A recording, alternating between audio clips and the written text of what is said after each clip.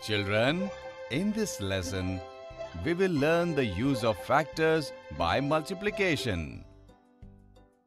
You all know Bablu is very naughty. One day, while roaming around, he went far into the forest and reached the other village. There he saw a big house. Bablu thought that he will rest there for a while and went inside the house. As he walked in, he saw three boxes on the table, and in each box there were ten apples. Can you tell how many apples were there in total? How will we write this by using multiplication? 3 multiplied by 10. Now, using the multiplication of 3, how many are these? 30. Bablu was very hungry.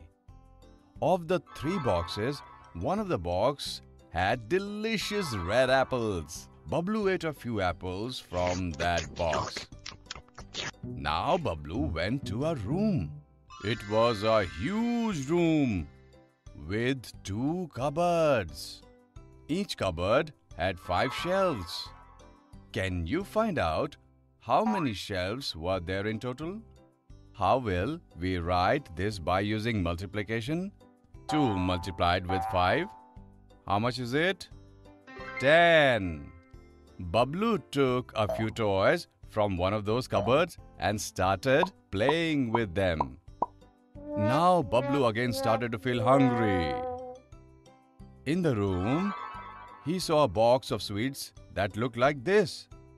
The box contained a total of 35 laddus. There were 7 vertical slots in the box. Can you tell how many laddus were there in each vertical slot? This question can be written in multiplication form like this. Now, can you make use of the method of finding factors learned in the last lesson and find the answer to this puzzle? You just have to find out when does 35 appear in the table of 7. So what multiplied with 7 is 35? 5 multiplied with 7. Each slot of the box had 5 laddus. Bablu ate a lot of laddus and started feeling sleepy. Bablu slept on the bed. Suddenly, Bablu heard some voices. When Bablu tried to see in his half asleep state, everything looked hazy to him, and he could only see 18 buttons.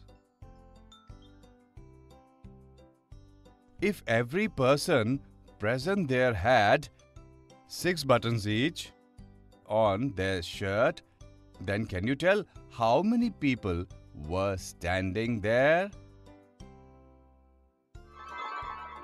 Yes, you have solved it correctly.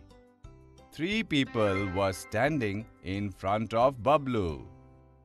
Actually, Bablu had reached Bubu Bear's house. Bubu and his family were surprised to see him there. The moment Bablu saw Bubu, he ran away and did not return back again. Children, in this chapter, we learned some interesting uses of factors.